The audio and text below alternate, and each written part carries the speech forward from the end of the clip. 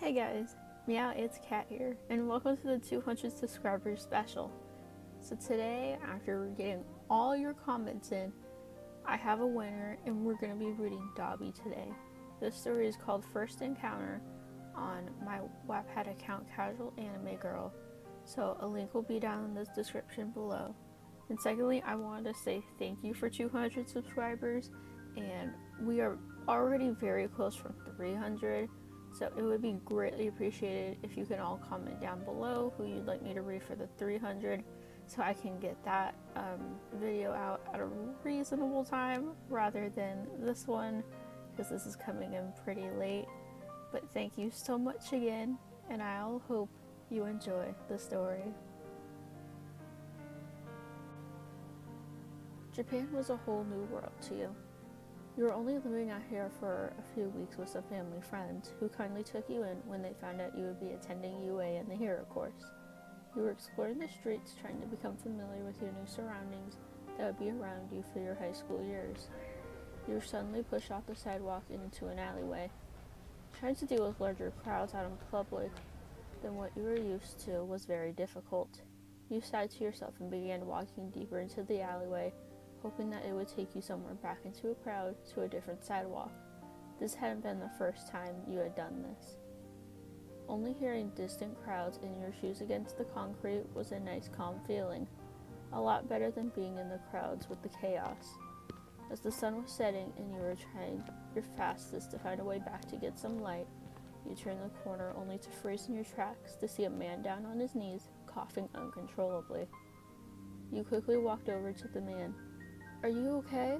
You ask, very concerned, bending down to get a closer view. The man looked up at you with his intense blue eyes, and his face that seemed to be held together by staples. You then noticed the blood on his hands that he had seemed to cough up, and with no hesitation, you hand him your handkerchief. He looks at it for a moment. It's all right. Please take it. You need it more than me, you say, giving him a gentle smile. He hesitantly takes it as he begins having another coughing fit. You look around your surroundings to see a few boxes off to the side. Would it be alright if I helped you over there? You ask, pointing toward the direction. Why the hell do you want to help me? He snaps back at you. This cut you off guard. Well, because it looks like you need some help. Good thing I found you, huh? You say, giving him a larger smile than the last. He tries to get up but fails to do so. Please, will you let me help you? You ask, concern laced in your voice. He just nods at you and you help him up and over to sit down on the boxes. I'm a listener. May I ask your name? You ask, kneeling down to look up at him. Can you not treat me like a damn kid? He spat back at you. Your eyes widen. Oh, no, I'm sorry if it came off that way, you exclaim, waving your hands in front of you. Dabi, he says hesitantly. You give him a bright smile. Well, Dabi, it's very nice to meet you. Can I help you with anything, like getting you something to drink or eat? You ask. There's a convenience store around the corner, he says simply. Okay, I'll be right back, you say, jogging off. It's that way, he said, pointing toward the direction. Oh, sorry, you say, jogging off in the correct direction. You walked in and began looking around for stuff to buy, grabbing everything you thought about his appearance. His black hair, intense blue, amazing eyes. You quickly smack your face, trying not to think about those eyes. You did it again and shook your head, trying not to get distracted. However, the one thing that concerned you was his skin. It looked extremely painful, and a lot of it was obviously burned and put together by staples. What could have possibly caused such damage to his skin? You checked out and began walking back. However, you were stopped by some pro hero. Miss, I don't think it's such a good idea to be going down that alleyway. A villain has been active around here, the pro says to you. No, it's okay, really. I'll be fine. I'm just taking this to someone who's ill, you say. I can take you there, miss, the pro replies. No, no, no. It's okay. They're just right around the corner, you say with a smile. All right, but be careful, the hero replies, walking off. You walk back and there was Dabi still sitting there. He almost fell into the shadows too low. And back, you say, placing the bag beside him and taking a seat on another box. That took a while, Dabi says, looking through the bag, grabbing a water bottle. Yeah, sorry, I wasn't sure what to get, and I was talking to some pro, you reply, rubbing the back of your neck. Dabi looks up at you. What did they want? he asks. He offered to walk me back here, but I told it it was fine. You said a villain has been active around here, you reply. Dabi chuckled. Villains are always active. Pros just don't notice as much if it isn't that big of a deal, he says, trying to find something else in the bag. That sounds pretty bad. I hope no one's getting severely injured by it, you reply, concerned. That's probably the case. They probably killed some people. Pretty scary world out there, huh? He says with an intense glare at you. You held your gaze at him. That's really sad more than scary.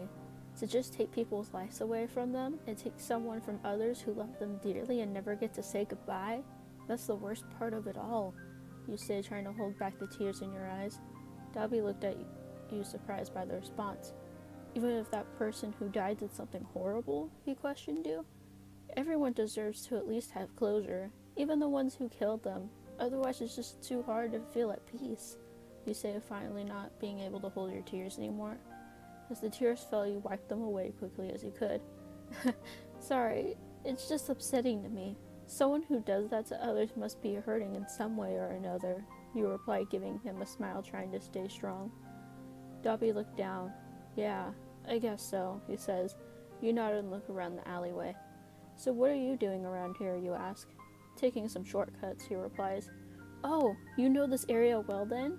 I've been trying to figure it out. I'm new here and I'm still trying to figure out my way around, you say, sneaking out some food from the bag quietly.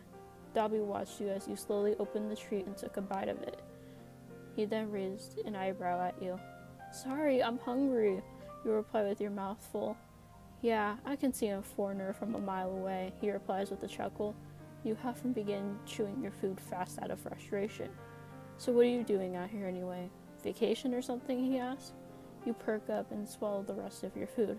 I'll be attending UA High in the Hero course, you say enthusiastically. Dabi stops what he's doing and gives you another intense yet eerie glare. So you want to be a hero? he asks. You begin to feel nervous. Uh, yeah. I want to be able to help people and protect people who can't defend themselves. Many people in my life have no quirks or do, but it isn't suited to defend themselves. That's what motivates me, you say, shifting on the box. Dabi leans in, invading your personal space. And what, stop villains and look great to the public, he says to you? Oh, well, I do care about my image, but I want to come off as a positive person. As long as I can help somewhere, that's what matters most. And for villains, it would be nice to one day meet in the middle about some things they want. But when they go after people who can't protect themselves, I want to help, he replied, taking another bite. Dabi leans back. That's interesting, he says. I guess one side thinks this way and the other side might think a different way. It would be nice if we could meet in the middle, you say, moving your arms around, try to express your point. Dabi grabs the bag and stands up, causing you to jump to your feet. This caused Dabi to look down at you with a confused and slightly irritated expression. Sorry, I was afraid you would fall back down, you say, looking away with a slight blush of embarrassment rising to your face. Dabi pats your head and you look at him with your face going redder. Meet me here tomorrow around the time the sun sets, he says, looking into your eyes. Why? You squeak out. I'll show you around, he says, and begins walking off. You, with no hesitation, run up and grab his wrist. Wait! You shout, causing him to look back at you. What now? He replies. Make sure you get home safe, and stop and take a break if it takes a while to get back, you say, looking at him, and let go. Dabi blinks at you a few times, trying to come up with some type of response. I will. Make sure you do too. Don't want to fall into the eyesight of a villain, future hero, he says with a small smile. He walks off into the distance, giving you a wave. You smile glad to finally make a new, interesting friend.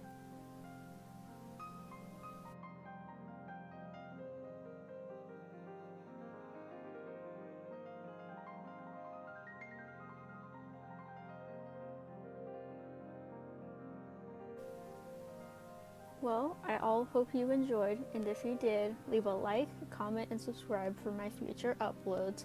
And if you have any character you would like me to read about, leave it down below in the comments, and I will definitely look into it. And until next time, I will see you all later.